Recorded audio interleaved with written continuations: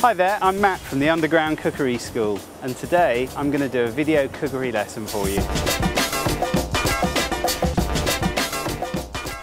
Uh, well, I'm going to show you how to roast my nuts today. I've got, uh, um, I've got these uh, chestnuts here and it's really simple to do. It is quite fiddly though. Um, some people just buy them already prepared and frozen in the supermarket, which I guess is allowed.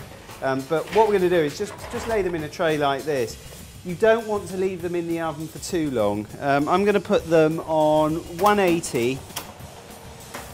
There we go. For about 10 minutes. And when we come back, I'm going to show you how to peel them.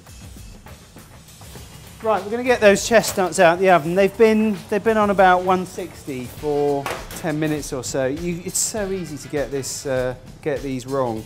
Um, uh, and also you need to you do need to let them cool down, which which I actually did before, but um, I'm cheating a bit because if I cooled them down and took them, took them out of the oven, you'd have to wait for about 10 minutes, and that wouldn't be very good. Um, I'm using a serrated edge knife just to peel away um, the chestnut, like so. Um, the, the problem with cooking them is um, you if you overcook them, they explode and then they just get chestnut all over your oven.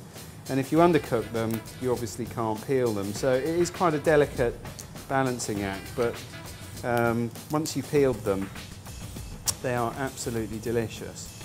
So I'm just going to finish off this old lot, um, and then we're going to plate these up.